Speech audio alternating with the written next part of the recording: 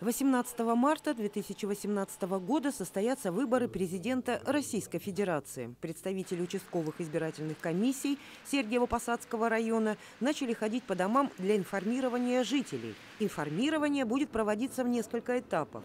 Жителям расскажут о порядке участия в выборах, напомнят о нововведении. Теперь можно подать заявление о голосовании по месту пребывания без оформления открепительного удостоверения.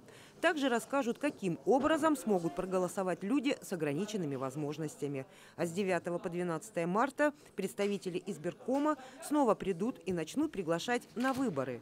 Жителям напомнят адрес и номер избирательного участка. Это происходит в рамках нашего законодательства. Э, члены участковых избирательных комиссий обязаны, обязаны, согласно 67-го федерального закона, закона о выборах нашего президента, информировать избирателей.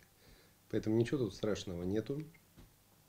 Я понимаю, что э, многие боятся открывать им дверь, но у меня убедительная просьба пускать наших коллег на беседу к вам. Вот так представители участковых избирательных комиссий будут одеты. Сотрудникам рекомендовано проводить обходы по вечерам в будни и в течение дня в выходные дни.